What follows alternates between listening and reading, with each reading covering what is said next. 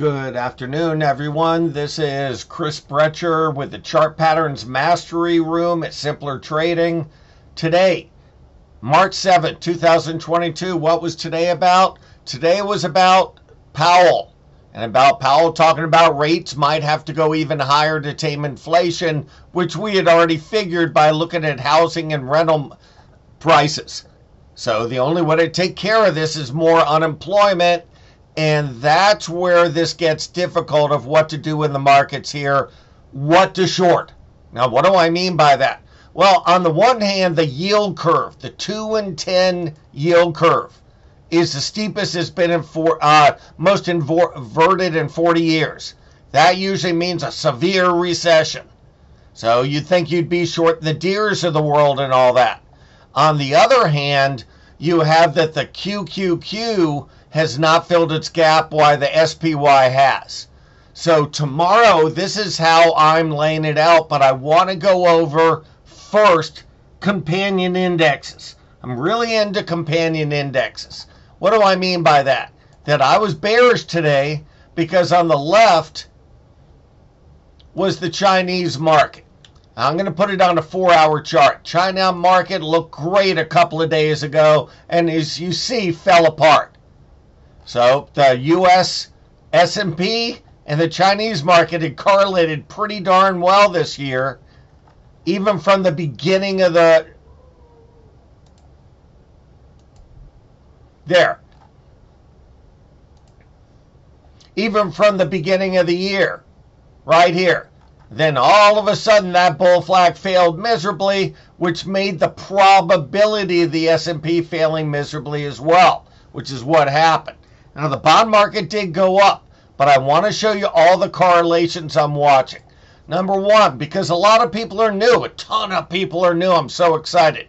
So, on the left, bond market.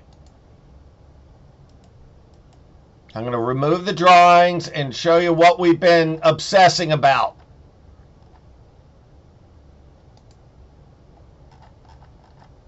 This. Here's the bond market on January 1st. Here's the bond market in uh, early November prior to the big rally of bonds. And on the right, the big rally in the S&P. So right here,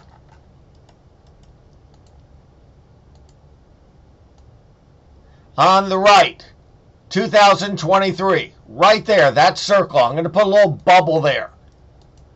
So when the bond market rallied, the ES rallied. So the bond market had a second rally up, and the ES had a second rally up. But now the bonds are down where they started the year. But the S&P is still 100 points above it. Just keep that in mind in there. But this is the one that's more impre impressive and why I'm going to lean on the QQQ tomorrow on the right or the, the NASDAQ. So last time that the bond market in January went to here, it didn't go to the October lows, it went to the January lows. The NASDAQ went to test the October lows. Why? Because so many NASDAQ stocks have high PE or high price to sales, and the higher yields go, the more their PE or price to sales contracts. So it always hits the NASDAQ uh, more, usually. But look this time. Yep, it's huge, 1,600 points higher than where it was when the bonds were here last time. Just keep that in the back of your mind, and that's why I'm going to look for more NASDAQ stocks to short. Now, a lot of people were talking about the dojis, the reversal dojis yesterday. Just keep in mind that a lot of times before a big event, now they might not be perfect dojis, but indecision candles, markets come back to revert to the mean and be unchanged, and they have dojis before the big event. The key is the day afterwards, the day of the dojis, right here. And what happened? They all followed through to the downside. Now, the way I'm going to look at it tomorrow, though, is I definitely want to play the NASDAQ first if I play anything on the short side. This is the one reason why. Number one, this hasn't caught up with the bond market, like I said. Number two is this. Here is the SPY, the non 24 hour SPY on the left. The SPY has filled this gap. That's from Friday when you had that nice short squeeze. I'll put that on a four hour. On the right is the QQQ. These are the non 24 hour, so they're more likely to have gaps. As you see, the S&P filled the gap today. Filled the gap. Right there. The NASDAQ is still down here, still two and a half points away. So that's one thing that's a warning sign. The other thing that's a warning if this ES or the SPY gets down to this level, then you got to think the NASDAQ's going to go to the lower rung. So I definitely want to play the NASDAQ on the short side, but I don't want to just blindly play it on the short side.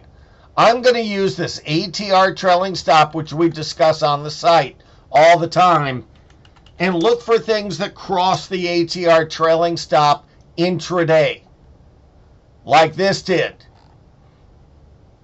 And on the left, AMD. All day it looked great, and then it looked bad. So oh, earlier it looked good. You could look for bull flags. Then look at that. Holy cow, it went straight down under it. We're going to look for stocks that break their ATR trailing stops tomorrow in the NASDAQ and play them to the short side. That's how I want to play tomorrow. So, how about the Dow stocks? Well, like I said, if there's a big recession risk, you get really worried about messing around with the Deeres of the world or the Caterpillars of the world. This is one thing to notice, though, that I think is a big deal, and nobody is factoring it, this in at the moment.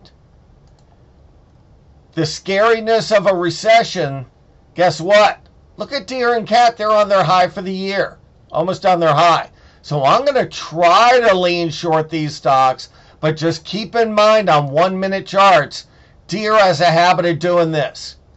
It looks terrible it has this one pop right after the opening to make everybody stopped out, and then they nail it. So definitely that you got to watch that in the Deere and the caterpillars. But definitely, I want to uh, lean short the Nasdaq stocks, the economically sensitive stocks, and then I got to tell you, I'm long MSOS, so I have no idea why this rallied at the end of the day. That's the pot ETF, but on a daily, it's trying to get over that ATR trailing stop. Over that, it could go to 850. Have a great night. If you like this video, sign up for the Chart Patterns Mastery on Simpler Trading. Take care. Good afternoon, everyone. This is Chris Brecher, and I'm Senior Managing Director of Stocks at Simpler Trading. Thanks so much for watching this video. If you like our content, please leave us a like and a comment down below. Also, be sure to subscribe to our channel and click the bell notification icon so you never miss any of our great new content coming out. Good trading, and we'll see you at the next video. Take care.